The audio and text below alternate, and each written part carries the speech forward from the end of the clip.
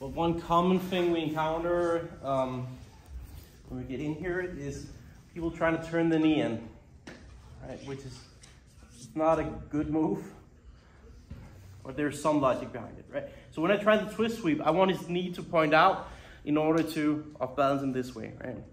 So, so what happens is people who are not super familiar with reaping, when I do this, Fred gets a bright idea. If he turns his knee in, I'm never gonna be able to twist him that way. And that's true. It's very difficult. But from here, I can basically turn my body and force his knee to the mat here. Now that's, this is better for me because look at this heel. It's right there. If you can't see his heel, here. His heel is here. He's exposing his own heel and he can't hide it. If I'm good from here, I pinch my knees here. I put a little bit of tension in my legs. If leg turns back, he breaks his own leg. Right? Don't try to turn back and face the guy. Only if it's a dare, right? There's money on the line. So Flag is forced to look away. He can only turn away from me. If he turns in, he hurts himself. So when you're in this position, the flag is in, don't try to turn back. You have to turn away from the force. So now I got the heel. And it's all pretty sweet, but from here I need to finish him, right? I need to put some pressure on here because if I'm not putting any pressure on Flag, he could he has many counters where he can slip the knee out. Uh, sometimes he can just stay here. Sometimes he can sit his butt back on my leg here and I have no leverage to finish here. So we're gonna do a simple but effective uh, movement here. Let's just scoot a little bit out this way. Here. So look, I brought his knee to the mat. What I'm gonna do from here to stop most of the counters is I'm gonna, this leg was down here, I'm gonna take it out I'm gonna scissor my legs here, and I'm gonna think about extending with my back leg here. I'm extending, and I'm pulling in with this bottom leg here. So my knee here pulls a little bit in, and this one pushes a little bit. When Fredrik tries to pull his knee out from here, very difficult. I'm pointing my knees to the mat, and it's very hard for him to pull his knee out.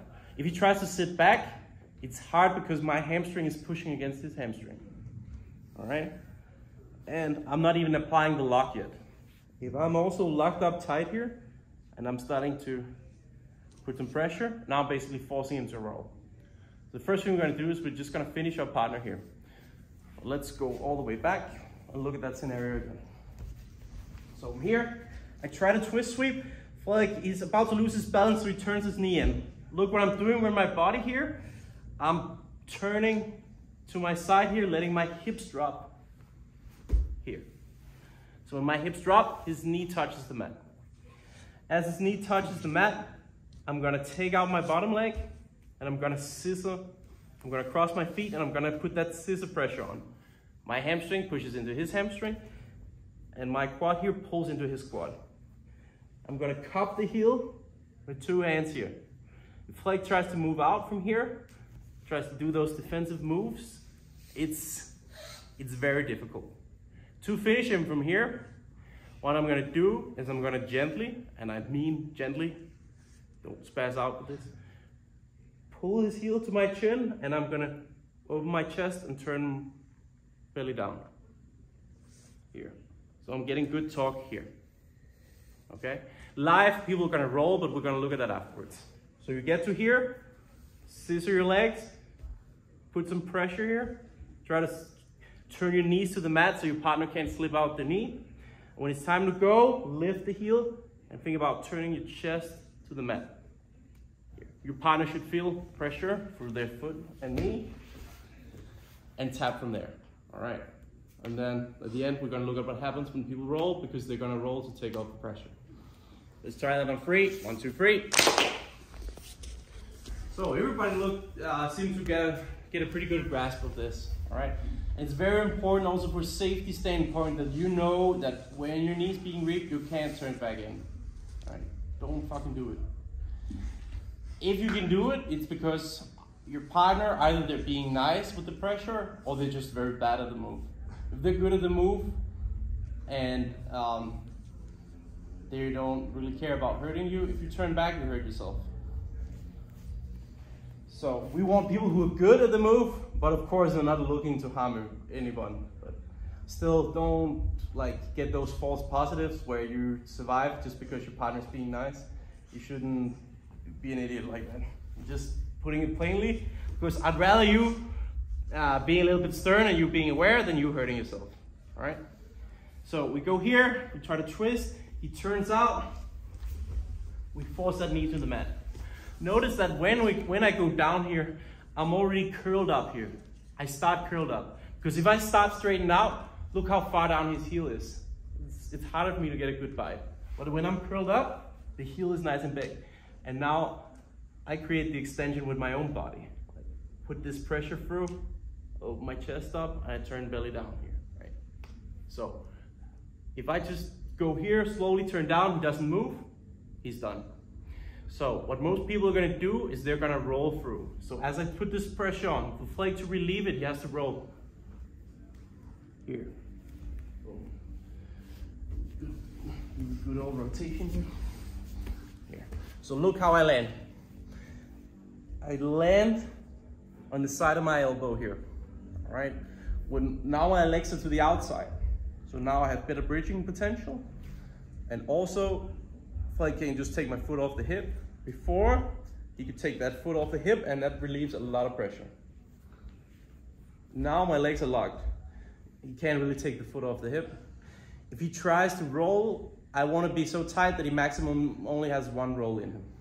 Maybe he can try to roll once. Already here, I got good pressure, but it's only gonna be one more roll. Then when I land, I'm basically landing in my bridge here. All right. So let's take a look at the roll. Because that's only real the, the only new movement we're introducing, right? We got the all the other stuff down. So for the roll, right? Here. For the roll, I want to make sure that I'm going elbow, forehead, and I'm landing on the other elbow. So I extend, look how it goes here. Elbow, forehead, and look, I flare this elbow a little bit. So when I land, I land on the elbow. Here. There's a big distinction between being on your elbow and putting finishing pressure on and being on your shoulder. Here, I'm pushing Flake's toes a little bit more down, but I can't really generate a good lift on the heel. And here it's easier for Flake to start to slip the heel out, be safe. So I want my shoulder off the mat, right? In demonstration, maybe it looks like this, where it's pretty far off the mat. When we're going live, sometimes it's closer. It's here, but it's still not touching. I don't want my side delt to touch the mat. All right? From here, make sure you curl in. You have to make sure you still have the knee curling in, and you already know the finish. It's the same as before, just with the legs to the outside. So I'm just gonna demonstrate that roll solo, just for the circus act of doing it. So I reap, I lock up, I turn, elbow, look, forehead, elbow, roll through. So I end up here. So I'm only letting elbows and my forehead touch the mat. So the roll looks like this. Elbow, forehead, elbow. All right, when I land, I have a good grip on the leg. I have everything I need for the finish. And when we just add that on. Last thing for today, let's try on three. One, two, three.